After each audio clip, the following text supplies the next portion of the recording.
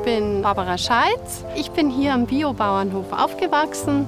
Meine Großmutter hatte zehn Kühe und mein Bruder machte dann weiter mit dem Bio-Ziegen.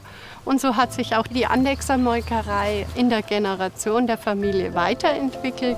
Und wenn ich da einen Wunsch haben dürfte, dann würde ich es vielen Kindern wünschen, äh, die Nähe zur Landwirtschaft so zu erleben und zu spüren.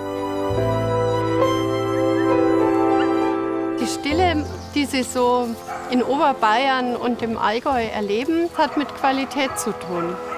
Und ich denke, in dieser Stille und auch in der Ruhe werden Qualitätsprodukte produziert, weil die einfach Ruhe und Zeit brauchen. Der Ökolandbau ist für mich auch Chance für die Zukunft, unsere Erde gut zu ernähren, unsere Menschen auf der Erde gut zu ernähren und mit der Erde gut umzugehen. Persönliche Werte sind Verlässlichkeit, Wertschätzung und ein liebevoller Umgang. Das ist mir ganz wichtig, dass wir mit dem, äh, was wir um, um uns haben, respektvoll und liebevoll umgehen.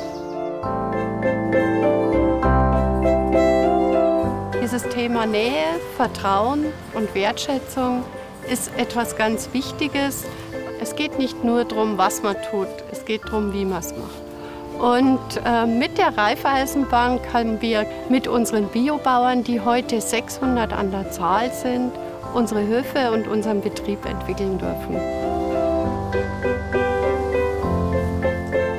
Ich glaube, ein verantwortungsvoller, fairer Umgang mit den Geschäftspartnern ist für uns die Grundlage jeder Arbeit.